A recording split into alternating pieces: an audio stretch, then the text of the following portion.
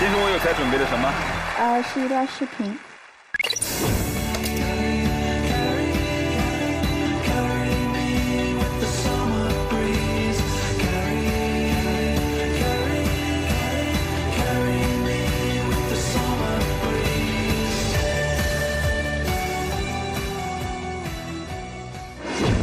但是这个跟你求职有啥关系？对呀，你又不你又不求职短视频制作，啊，对，你又不是求职服装设计，是你整个今天是来啊？也不是求职模特，你今天是来干嘛的？我今天是来求职金融行业。不对，表现自己。这是一个求职的动作，那你准备的东西可以展示，但是不要把这个时间的权重和这个偏移了。我觉得你可以百分之十的时间在展示你的汉服，但百分之九十时间都是奔着这个目标来的，因为全场就一家企业，你应该更加清楚你来的目的是什么。其实我是有岗位给你的，因为我觉得本身我们活动行业这两年复古风刮得很热，然后呢，我们也是在策划和执行方面是需要一些对这方面有兴趣的小伙伴的。但是我一直没有看到说你对于这个事儿有什么理解。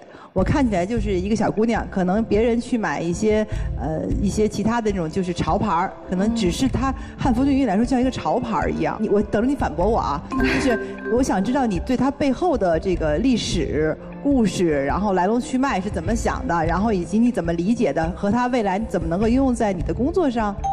呃，我可以跟大家介绍一下我穿这件衣服，大家可以看到这里有一条明显的中缝，这条中缝是不是故意？就是因为比如说衣服缝不了了，我在这缝一条中缝。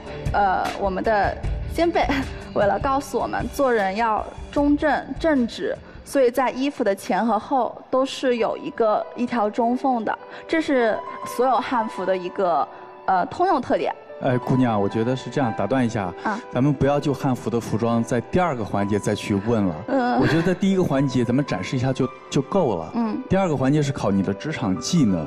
随着面试这个一步步下来之后，我们会发现他在真正的职场能力的准备，其实还没有在汉服这个上面花的时间够多，所以这个就是一个很大的问题了。你展示过多的是你的兴趣爱好了，虽然这个很好，嗯啊，我我觉得能突出你的一些个人特色哈，但是我特别想知道，呃，你你想要的未来的一个工作状态是什么样的？你愿意为他付出什么样的代价？我在证券公司实习的时候，连续三个月每天早上六点起床，然后九点回家，但是我觉得很开心，因为我每天都收获很大。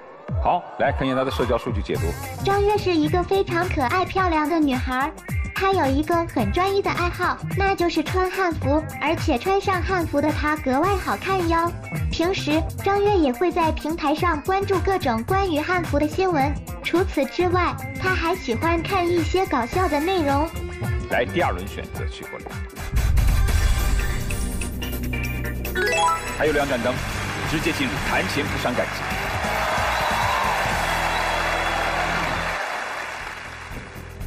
金融的没留下来啊，一个做活动的啊，一个卖机卖机械的。四千四千，薪酬要谈吗？呃，我想谈谈未来职业规划。是一个对生活很有热情的孩子，所以呢，在我们这个晋升岗位是从助理，然后到专员，到主管，到经理，然后到总监这样的一条晋升岗位。我们希望能够更多的了解外部的一些信息和数据，所以我们有专门这样的一个分析岗位。我觉得你身上其实有各种各样的可能性。那么，呃，未来的话，其实我也想看看，一段时间以后，也许你可能会在内部进行一些转岗。其实从某个角度上来说，看着如果真的他是喜欢中国文化，喜欢汉服。其实是一件可喜的事情。其实中国有很多传统精美的东西是值得传颂的，像那个鎏金的簪子呀，一些景泰蓝的这样的一些传统的东西，年轻人应该喜欢这些传统的东西。对。啊，所以他的这种现象，其实我是支持的。还，考虑一下，做出你最后的选择。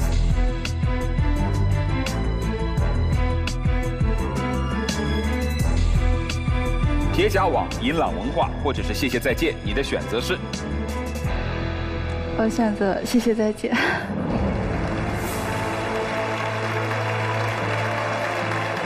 他压根不是来找。其实他的这个结果我一点都不意外。他是来走秀的。对，我张卫健根本就不是来找工作，虽然我也四川人，就我们都被洗刷了。我们被洗刷了。被洗刷了。啊。其实爱好跟专业方面是有一个很大的鸿沟的。你的爱好是可能是花钱，但是你的职业是需要靠这个东西去赚钱的。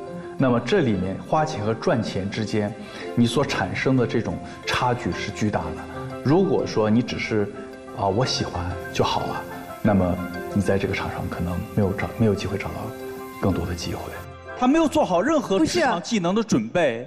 我认为他是一个有热爱的人，有兴趣的人。刚才打出来的 PPT 也是喜欢张罗的人，在这些上面，我有这个岗位，我就是匹配的，只是他愿不愿意做的问题。你们那个大门太低了呀！那你太奇怪了。而且你今天砸的有点不对的，我觉得这个姑娘今天说实话还是真的值四千的。不是我，我觉得这姑娘赤值。如果她今天选择了任何一家都没问题，因为你们愿意给她愿意拿。可是姑娘根本就不 care 你们，人家就是来秀一下的，就显得我们人傻钱多。我觉得咱们引导了一个很坏的风气。涂老师也说过，在台上显得我们这些人特别傻。只要上来个人稍微有点优点，都给岗位，都给很高的薪水。